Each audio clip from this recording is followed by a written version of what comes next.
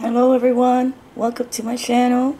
If you're new, welcome and please don't forget to subscribe the red box and hit the notification bell so you will not miss the fun craft.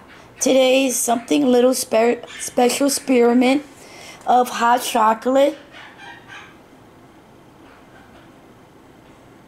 and so well, let's get started. First thing you need is some hot chocolate and uh, put in the microwave for 150 until it gets hot. No boiling water. Now we're gonna put some hot chocolate in about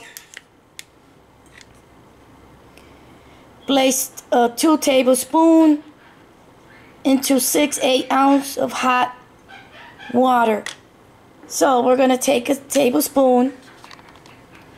As you know, I'm holding the one camera, so I'm going to pour it in a little bit. And it's going to turn color orange. Okay. And let's see how this color turn. And we're going to stir it.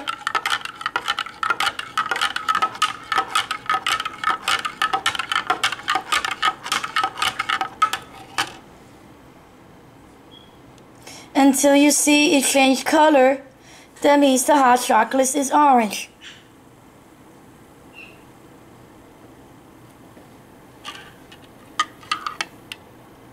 And now it's orange. Cool, is it? I hope you like this video. Give me thumbs up. And have a great day.